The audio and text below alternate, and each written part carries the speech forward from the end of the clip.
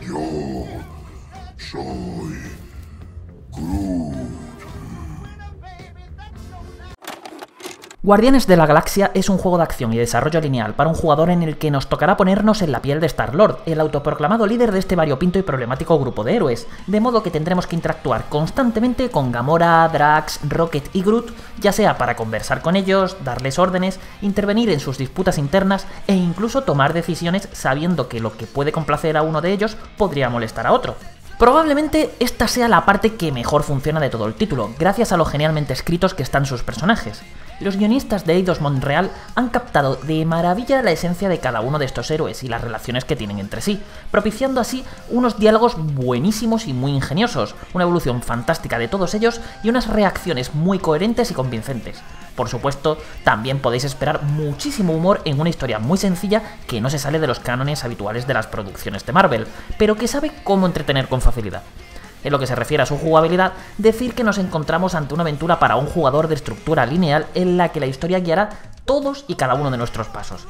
Es decir, aquí no hay misiones secundarias ni mapas explorables a los que podemos regresar, sino que siempre avanzaremos por unos escenarios muy pasilleros en los que perderse es prácticamente imposible mientras buscamos secretos en forma de trajes, recursos y coleccionables, charlamos con nuestros compañeros, resolvemos algún que otro puzzle, tomamos decisiones, hacemos algo de plataformeo y combatimos a todo aquel que ose interponerse en nuestro camino. El guion siempre tiene la voz cantante y si la historia necesita que haya un capítulo entero en el que no vamos a apretar el gatillo, el título lo respeta. Esto significa que hay muchos momentos en los que únicamente nos dedicaremos a avanzar sin hacer gran cosa más allá de escuchar a los personajes hablar mientras intervenimos en las conversaciones y damos alguna que otra orden para que Groot cree un puente, Drax rompa una pared, Rocket manipule un panel de control o Gamora nos impulse a una posición elevada a la que no llegaríamos de otro modo. Los puzzles por lo general son sencillísimos y no están demasiado inspirados, y el plataformeo también es bastante básico, de modo que al final la parte más interesante de su jugabilidad la tenemos en los combates.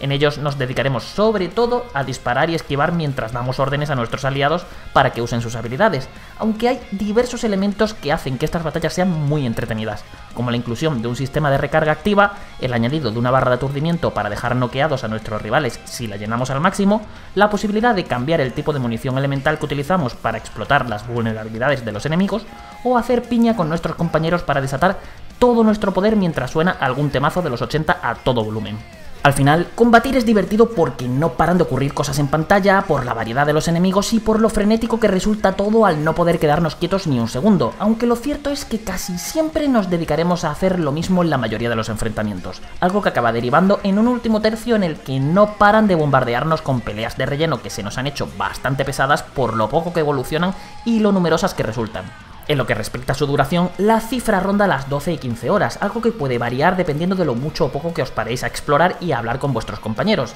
Aquí tenemos que avisaros de que las decisiones que nos tocará tomar no afectan a la historia como tal, y esta siempre llega a los mismos puntos, independientemente de lo que escojamos, por lo que solo alteran de forma ligera el cómo se desarrollan ciertos acontecimientos. A nivel gráfico, nos encontramos ante un título muy resultón, sobre todo por el buen trabajo de su dirección de arte, capaz de dar vida a mundos extraños y sobrecogedores, escenarios repletos de detalles y a personajes con diseños muy interesantes. Sin embargo, detalles como las animaciones o las expresiones faciales tienen un amplio margen de mejora, aunque nuestra mayor pega con el juego radica en la enorme cantidad de errores de programación que nos hemos encontrado, algo que Square Enix ha prometido solucionar con parches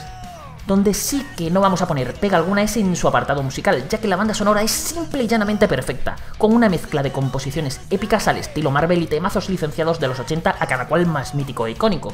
Los efectos también son bastante buenos y el doblaje español nos ha gustado mucho pese a que la sincronización labial tiene margen de mejora. Guardianes de la Galaxia es un juego con unas carencias muy evidentes, pero que consigue sobreponerse a ellas para hacernos pasar unas horas estupendas y muy divertidas en compañía de este carismático grupo de héroes. Sí, puede que lo jugable se limite a cumplir y no consiga sobresalir en nada de lo que hace, pero su narrativa, sus diálogos, sus personajes, su sentido del humor, la atención al detalle, la enorme cantidad de guiños para los fans y nuestro papel central como líderes de esta familia tan disfuncional han sido suficientes para sostener todo el peso de la aventura y dejarnos más que satisfechos.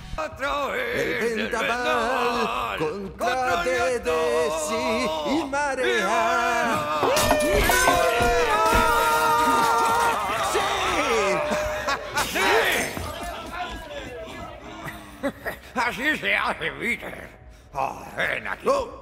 Ah. Por el amor de... Vamos, Groot.